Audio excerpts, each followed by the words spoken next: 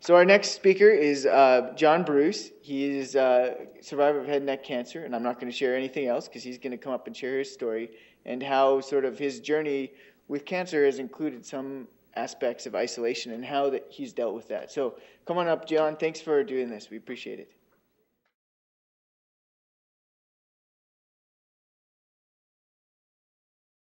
Yeah, thanks, Mike.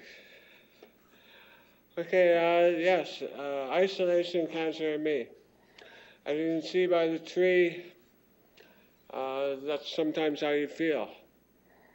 a friend of mine, um, a couple of years into my journey with cancer, uh, I, I wanted this particular tree, and he found it, and he said it reminded him of me. What he said was, it is a lone tree growing out of a rock outcrop with grassland all around it. As you can see, it is weathered and broken, and yet it survives. How, I don't know. He saw the tree a few months ago and thought of me. So, yes, I'm weathered and broken, yet I survive. So I consider myself a survivor, but yet isolated out in the middle of, of, the, of the fields there. So, my story I consider myself special. I'm a cancer of the head and neck individual. Um, I'm lucky to have had it in Edmonton rather than anywhere else because uh, our doctors in uh, the U of A developed systems to really make life better for a head and neck patient. Uh, surgery was 17 hours. Um, chemotherapy was the worst thing in my life. Radiation, 30 reps of radiation. And then one year later, I ended up with strep A bloodborne and had to just about start all of my battles with voice and swallowing all over again. Why isolation? Oh, uncertainty. You, you look, you don't know what's going to happen. You don't know where you're going to be. You feel hopeless. Um, I look different. I sound different. Everything changes physically in me. I'm not the same person I was. You perceive facts. Sometimes the internet can be a good thing, sometimes it can be a bad thing. When you're feeling down and you decide to research your situation, sometimes it can get downright depressing and, and make you anxious. It can drive you down into a bad place where all you want to do is you want to hide away from everything and everybody. Um,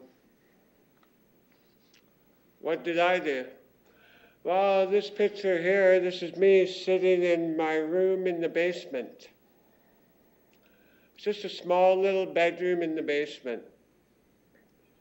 Alone, I spent hours in there. Um, I had medication, uh, so I was on morphine. I was also on, now I'm on depress, antidepressants and such.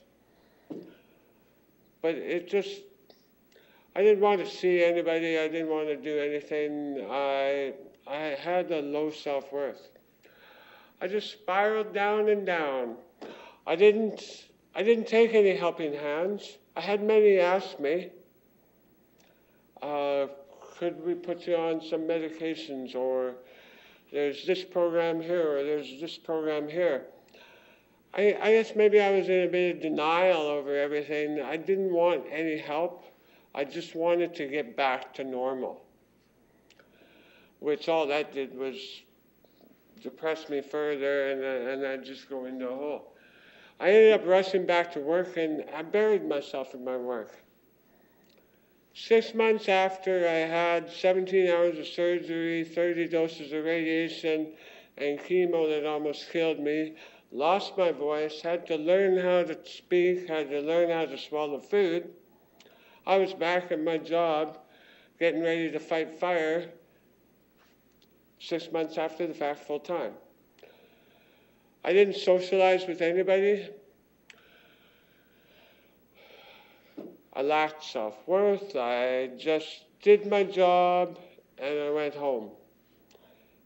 Lunch for me was a chore, eating was a chore. It took me an hour to eat, so I couldn't talk while I ate. I just sat there and chewed and chewed and chewed. I'd chew for three to four hours a day, and I'd choke a lot. So, because I choked a lot, I was very self conscious about eating around people. So I'd go back into my office or I'd just further isolate myself. I'd close the door. I didn't want people to see me in that state. And I was going through uh, separation divorce at the time, so I just forecasted a life alone. I didn't think anything would change. Why care? Why fight? Well, I've got three reasons. My children, you know, all I had to do was look at them and I went, time to get off your butt. So, how did I turn it around? There's tools to turn around. Get moving. Every day I'd force myself. I'd get up. I'd push myself along the edge of the bed. And I'd just sort of fall off the bed, and then that would make me have to stand up. Once I stood up, I could start to move. I go up the stairs. I keep moving around. I go for a walk. I go out to the end of the sidewalk and back, and then I went to the end of the block, and then on and on and on. I just made myself move. I got out of that room, which I'd made my own little safe cocoon and prison in, and I made myself move. I became responsible for me. It's one thing to go and isolate yourself but after a while, the only person you have to blame for the isolation is you. You can choose to be happy, or you can choose to be poor me in that little room, in that little space, all by yourself. You know, you push everybody and everything away from you. So the only way you can get out of that is to make up your mind that you're going to be responsible for your own happiness and, and reach out. When you do ask and accept help, though, you have to do the work. And that's one thing work. It, there is a lot of work involved. It takes work to push yourself off of that bed and move to the side of the room. It takes work to drag yourself up the stairs. It takes work to eat that meal. It takes work to go out and say hi to somebody. It takes work to do your normal work, but all of these care providers that are trying to help you are giving you the tools to make you a success. Talking for me takes work.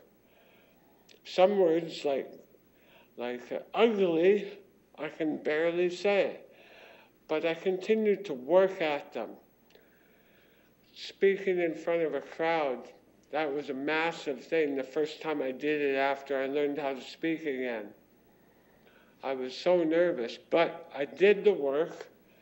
I continued with the exercises and the practice they gave me, and I, and I pushed myself out into the crowd. How am I doing it still? Humor. I gotta allow myself to laugh now and again and not take myself too seriously. I'm only here to live. Exercise, I don't beat myself up. When I'm too tired, I don't do it. And sometimes I go into a rut where I don't do it. But then, after a while, time comes along, some prodding from my loved ones, I start to get mobilized again. I start to maybe feel good for a day or so. And when that opportunity hits, I get out there and I do it. Diet. Eating just worked for me, so I maximize the value of it. Sure, I still love a dessert or a sweet or something, but a lot just because of the makeup of them, I can't swallow anymore. So I try and make it like chocolate almonds. It's weird. An almond to itself is like peanut butter in my mouth, and when you don't have saliva, it's like eating a bunch of crackers without water. But with the chocolate, it just sort of melts and slides down, and it's very enjoyable. You've got to take some enjoyment out of life and maximize the energy you put into it. How am I doing it? Well, I'm letting people in. I went through, I was in a separation when I got sick. I'm moving into a divorce.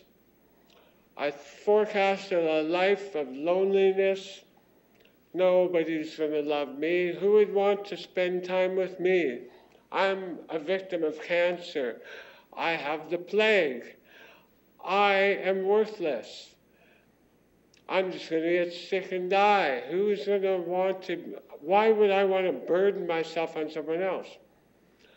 Finally, I let I started feeling decent about myself and feeling happy, and I let somebody in, and I'm glad because now I'm sharing my life with somebody I love.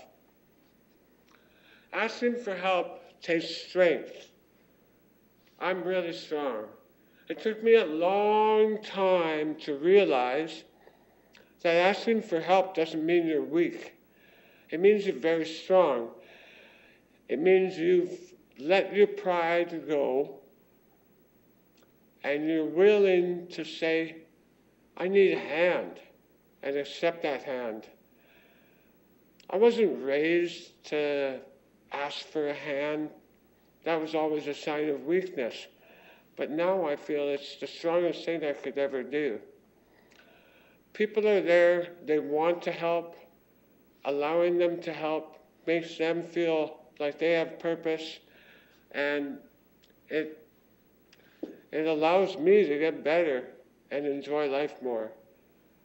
So, so when, I, when I'm starting to feel like I'm going downhill, I reach up. I've accepted new limitations and now I'm looking for new opportunities. My career as I know it in the past is done. It will never be the same again. A lot of my life is done. It took me almost four years to accept that. Now I've accepted it, now I'm moving on. I'm looking for new opportunities. One of them is talking to you today. I wrote, wrote I wrote it out of me. I wrote a book last, last year. I dealt with all of the physical, but I never dealt with the mental. And I just had to get it out of my system. A therapist told me, try writing it out. I said, all right, I'll give it a shot. I started writing. She said, you have a good story that others could benefit from. So I came up with my book. It was very therapeutic. It just sort of went blah. It just fell out of me. In three and a half months, I wrote a book. And to a lot of people that write books or are trying to write books, that's an amazing feat. Good things can come from bad times. I had cancer. I almost died. But those are bad. My career is gone. That's bad. Many things along the way, physical things, I have limited limitations to now. Those are bad. But the good things are is that I feel more. I'm learning to live. I'm still young. I still have a large portion of my life ahead of me. I still have things to live for. I'm still of value, and I'm slowly picking up purpose in my life again. Drop me a line sometime.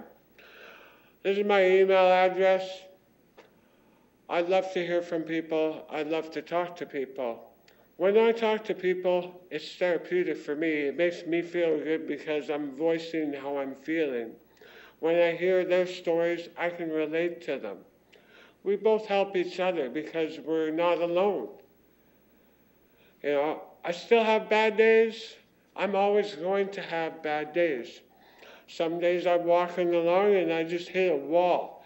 And it's like, boom, fatigue, time to shut her down. Other days I'm just like bouncing off the walls. I'm, I'm ready to go at anything. I have to learn how to, I just level all that out and live, live to what is best for me. Biggest thing though is that I know if I reach out, there's a hand there I can grab. And that is one of the biggest things about the isolation again is when I'm feeling weak, when I need a helping hand, if I don't voice that I need the helping hand and reach out, I'm going to stay in that little hole of isolation. I'll never move forward or never climb out. But if I just reach out, somebody's going to grab hold and help me up.